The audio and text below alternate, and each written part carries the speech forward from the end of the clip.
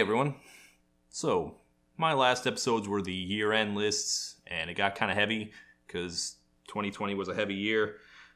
I think I'd like this next episode to be more upbeat. Party people!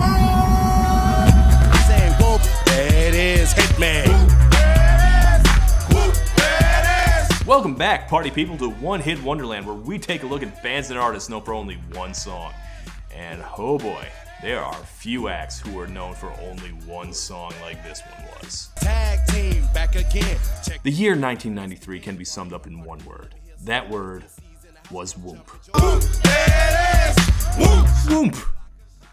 I don't even know what sound that's supposed to be. Sound of someone flopping onto a beanbag chair, maybe? You don't need to know what it was. It was so powerful that Whoomp There It Is, the party anthem by the rap duo Tag Team, was the second biggest hit song of that year. It was just barely kept off the top of the charts by Whitney Houston's I Will Always Love You. Which, actually, I think that song has a whoop in it. See? There it is. But yeah, that song was everywhere. You remember how big Old Town Road was? In my memory, Whoomp There It Is is like 500 times bigger. I grew up in a household that was not open to rap music or any popular music. But even in a childhood deprived of the hippity hop, I was very aware of Whoomp There It Is. It's probably the first hip hop song I could name or sing. I, guess I could have been vaguely aware of You Can't Touch This, Insane in the Brain, or Hip Hop Hooray, but they had nowhere close to the impact on me that Tag Team did. In 1993, hip hop was probably at its very most controversial, but Whoomp There It Is was right there, clearing a path to the masses. Gets played in stadiums every night. There was a rap song that sampled it just a couple months ago. They wanna see me do my dance in these thousand dollar pants. Oh, and of course, now there's a goddamn Geico commercial. Scoop, there it is. Can't wait to watch that a few hundred more times. But despite the ubiquity, Tag Team tagged out of the conversation pretty quickly. To me, the little kid, they were bigger than the Beatles, but they never sniffed the charts again. Party people, it's your party tag team is through. There they were. And then there they weren't. What happened? Well, why don't we check out how they turned Whoop into the vague, undefined sound effect that captured an era? Can you dig it? Dig it? Can you dig it? Okay, so Atlanta. Welcome to Atlanta. Atlanta owns hip hop now, but it was a backwater nowhere for a long time. Eventually, Outkast and Goodie Mob established the Dirty South sound, but Atlanta's first notable acts were pop crossovers Kris Kross, TLC, Arrested Development in 92, and then Tag Team in 93. Which is funny because Tag Team were not from Atlanta. Steve Roll'n and DC the Brain Supreme met in high school in Denver. After that, Steve went to the Art Institute in Atlanta to study studio engineering. DC followed him out there shortly afterward, and they started a rap duo, the Tag Team Crew. Here is their first single from 1990, entitled Strictly Political. We struggle for this privilege oh so long since our ancestors were contained by shackle bonds. Tactics they use to diss us are unethical. I speak my mind and it's strictly political. I gather they started out in a much different place than they ended up. Eh, it's, it's 1990. Public Enemy's still big. They are definitely biting their flow from KRS-One. One day this will end and the conscience will rise. Keep your eyes on the prize and the wise will advise. So stand up and fight. Yeah, they must have figured out that they didn't have a future as political commentators because they don't sound like this ever again. Then again, maybe the apparatus just wasn't there to promote them yet. A few years later, Atlanta is starting to hit, and DC the Brain Supreme was DJing at Atlanta's famous strip club, Magic City. Magic City turned out to be like the hotbed of Dirty South hip hop. But at the time, the Dirty South style was coming a little further south. One of the bigger trends in rap at the time was Miami bass, a boomingly loud, extremely butt centric music that started in the late 80s. It was very horny and not super respectful to women. It was good music for strip clubs, basically. Bitch bend over, let me ride your backside like dogs do each other. The group Two Live Crew took it mainstream, but not very mainstream. They were very controversial and banned almost immediately. But that kind of sound was obviously very popular at Magic City. And so DC and Steve were like, maybe we could put something like this together. If you want to know what hip hop was like in 93, here's a Newsweek cover from that year Rap Too Violent. The backlash to pop rap has driven away the likes of Hammer and Vanilla, leaving the gangsters in firm control of music. There are a number of militant rappers like Ice Cube and Public Enemy who are criticized as anti American and anti Semitic. In 92, Ice T starts a political firestorm by rapping about killing cops, and now it is 93. The most popular new artist in music is Snoop Doggy Dogg. He has just been charged with murder. That's also the commercial breakthrough year of Tupac Shakur, who has also been charged for shooting at two off duty cops, and for Cypress Hill with their constant promotion of illegal drug use. Meanwhile, Two Live Crew is gone, but their descendants have littered the Hot 100 with a string of leering booty jams that are definitely not improving rap music's reputation for sexism. So, with all that noise going on, how was I, as a small suburban child, able to know and sing along with a rap song? Like, we danced to this in PE. I think our little third grade choir sang it at assemblies. It wasn't just children, obviously, it owned the entire world. It killed on dance floors, it got entire arenas of people on their feet. It was for everybody and everyone. Where the hell did this come from? DC says that Whoomp There It Is was just one of many songs they threw together. He put it on one day at the strip club and got a huge reaction out of it, but didn't think anything about it until a little later when the strippers actually started requesting it. And from there, they pressed a bunch of copies and shopped it around. Miami bass was still a little too hot for prime time at the time, so it was hard to get signed. But they found one tiny label that took a chance on them, and by that summer, the song was just everywhere. And clearly, you could credit it all to that one perfect hook with its one perfect line. Whoomp, there it is. The motto of a generation. It was such a powerful lyric. It was so powerful that Whoomp There It Is was not even the only Whoomp There It Is that year. This is Whoot There It Is by 95 South. It was also a big hit at the exact same time.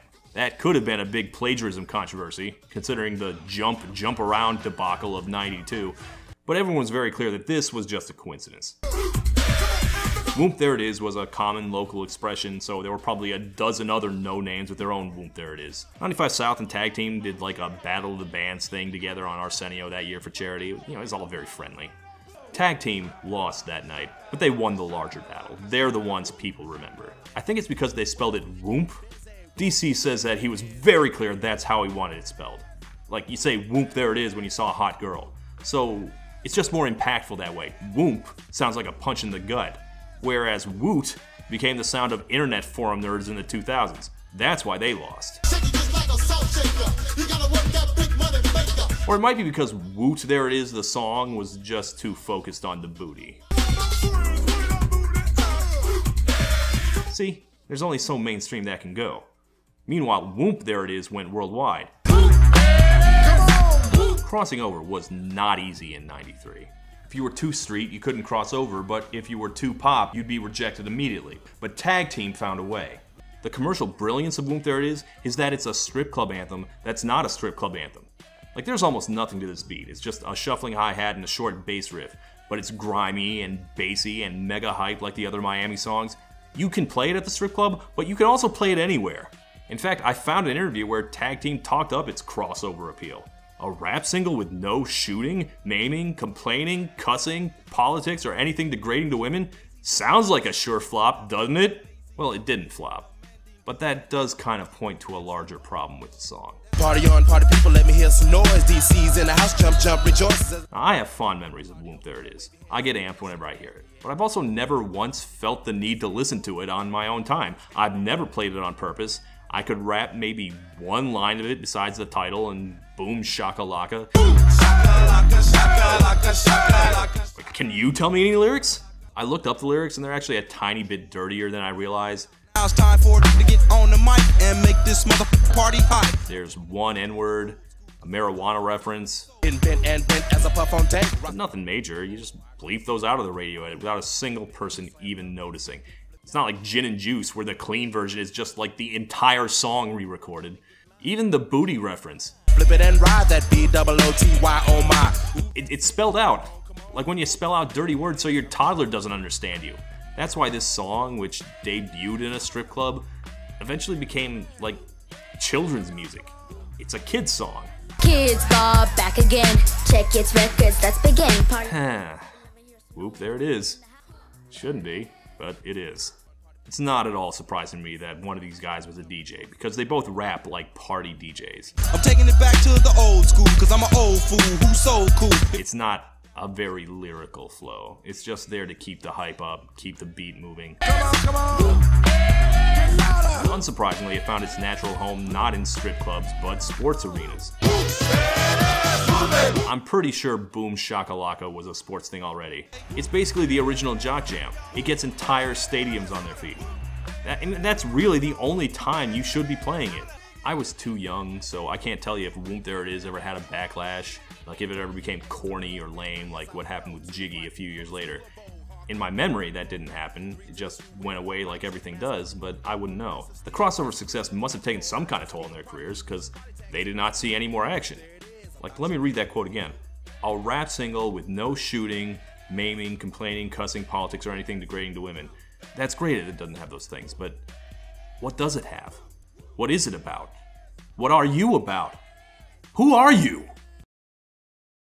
After the big hit, Tag Team's story becomes a little obscure. Their videos are predictably hard to find. This is the best version I could dig up. I apologize for the quality. Apparently, this is their follow up single. It's called You Go Girl. Looking out for the mother of pearl sisters, much love, you go, girl. I think they were hoping to build an entire career out of 90s catchphrases. You know, like maybe a song called Booyah, Oh Snap, Talk to the Hand. Positive to my Nubian women, gotta give her props, real black. Unlike Whoomp There It Is, this one does have a topic. It's a tribute to all the wonderful black women of the world. R-E-S-P-E-C-T's what I give. I got her back, and she got mine. Yeah, you can see where they're going with this, right? Just like Whoomp There It Is, it's a more positive, uplifting version of the Miami bass sound. You can call it corny, but I think there's a place for that. Nubian ham is what I want. Step two, let me rock that coochie coo. Fat rump I pursue, big breasts. I love 'em. Okay, I think we're starting to lose the thread a little in this third verse. The EXX girl flex. Tip on grip, magic scream, oh yes. Huh. Yeah, the suburban teenagers who ate up Whoomp There It Is will not be listening to this. In fact, no one will be listening to this, because, well, Tag Team are not the tightest of MCs. Same. Being down with each other is the name of the game. We're a tag team and we're here to say we support black women in a major way. At this point, they had two choices. They could try and capture lightning in a bottle again, or they could just milk Whoomp There It Is forever. They went with option two. So, let me introduce you to the seven squillion other versions of their one song. How about Whoomp There It Is in Spanish?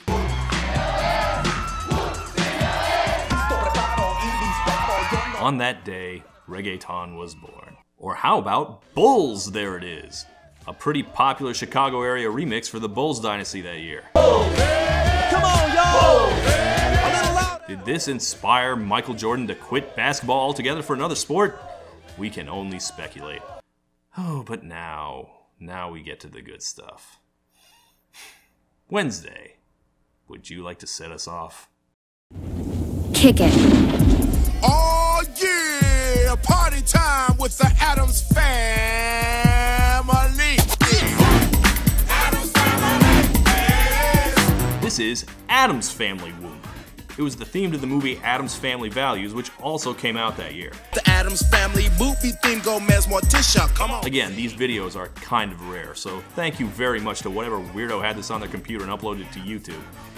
Anyway, have you ever wanted to hear a rap about the Addams Family by two subpar MCs who do not seem to know much about the Addams Family? Wednesday Pugsley alert you ring. Fester grandmama and thing. Wait, can't forget cousin it. Even better, would you like to see a preteen Christina Ricci be forced to do a hip hop dance and clearly not wanting to be there? Pugsley seems to be into it though. What we have learned from all this is that the Addams family are creepy and they're kooky and they're altogether fatal to rap careers. They killed Hammer in 91, they killed Tag Team in 93, and they probably killed Migos in 2019. Family, family, family. I go to war with my family. That was an actual thing that happened. You missed it. But if you think we've reached the low point, oh, no, no, no, no. No, no, no. We've got one step lower to go. Kick it. Here's squeaky clean music with full effect. That's me, Mickey, the Mouse Supreme. birthday party of my main Duck Donald. We're kicking the How on earth have I managed to restrain myself for so long that I've never spoken about the magical world of Mickey Unrapped? A 1994 CD featuring the lead single Whoomp There It Went by tag team Mickey, Minnie, and Goofy. Tag team. You may remember the 90s trend of ironic gangsta versions of cartoon characters. This is not that. This was not ironic. It was pitched directly to little kids. And I remember the commercials distinctly. This is the Mickey of the 90s. Mickey and his gang signs and his sagging pants over his regular yellow button pants. Check it out. It features all your favorite rappers like Tag Team and Whoopi Goldberg. And also a song called Ducks in the Hood. The entire CD is a cavalcade of horrors that is beyond the scope of this video.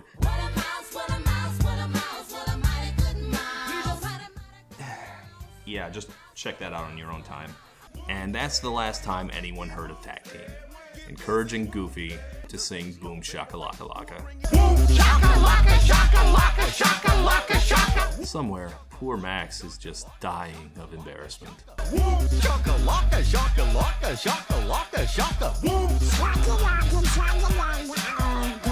This is pathetic. No, afraid not. Here it is, bam! Their 1994 single, Here It Is Bam, didn't go anywhere. In 1995, they hit an incredible low point by recording a rap song for the Talking Pig movie Gordy. Be a pig and I'm giving up love to my mama hog while she's chilling in the mud. And when it comes to chumps, I'm doing damage. Cause Gordy ain't going out like a ham sandwich. Mickey Mouse is at least a cultural icon. Gordy? They released a couple more singles and a second album, which all flopped.